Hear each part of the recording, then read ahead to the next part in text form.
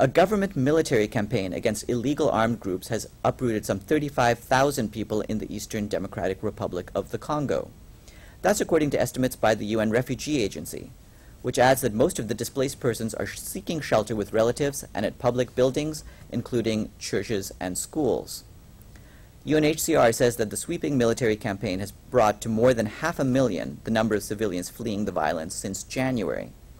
Overall, there are more than 1.8 million civilians displaced by violence in the eastern DRC. UNHCR is also concerned that continued fighting will cause delays in its repatriation of refugees from Tanzania. Many of the Congolese refugees volunteering to return home are from South Kivu.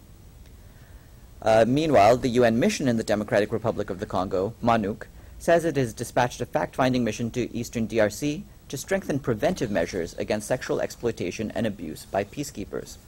The fact-finding team will visit UN bases as well as IDP camps in North Kivu. It is expected to report to mission leadership later this month.